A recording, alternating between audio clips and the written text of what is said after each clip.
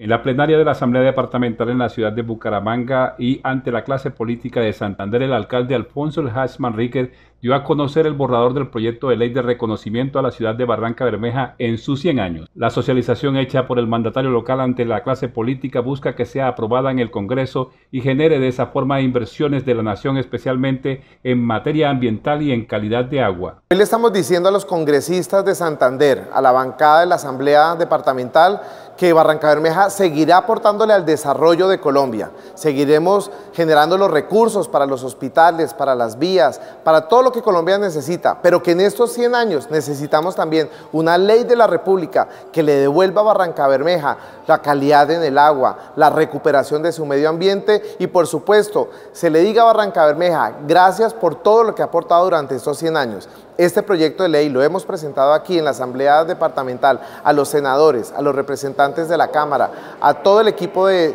diputados y además a la Gobernación de Santander para buscar su apoyo y respaldo. El alcalde El Hash les pidió a todos los congresistas santanderianos acompañar esta iniciativa que próximamente será radicada en el Congreso de la República, cuyas sesiones ordinarias inician la próxima semana.